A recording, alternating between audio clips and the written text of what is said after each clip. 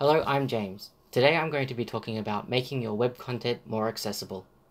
In the excitement of creating and sharing content, we don't always stop and think about how accessible that content is, especially for those who experience the web differently due to disabilities.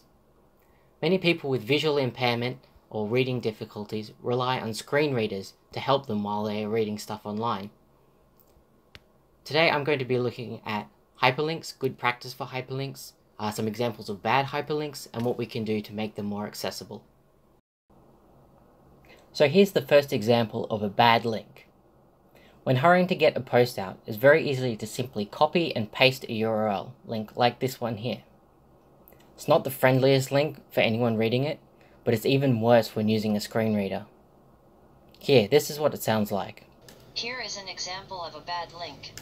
Visited link https slash slash d2 liters dot deakin dot edu dot o slash d2 liters slash home slash 668,195 ga equals 2.1265177. Pretty awful, right? It's always a good idea to hide the URL in the HTML, instead have some descriptive text letting people know where the link takes them.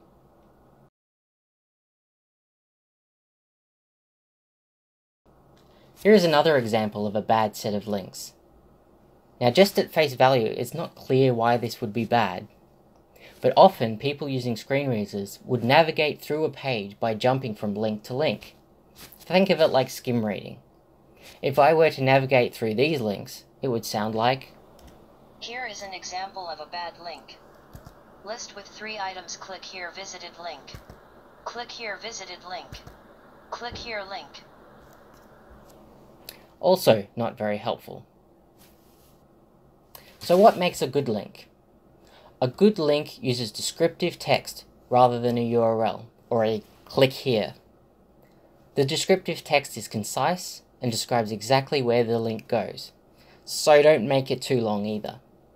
Ensure that your link makes sense out of context. If I had to just read this text right here, would I know exactly where the link goes?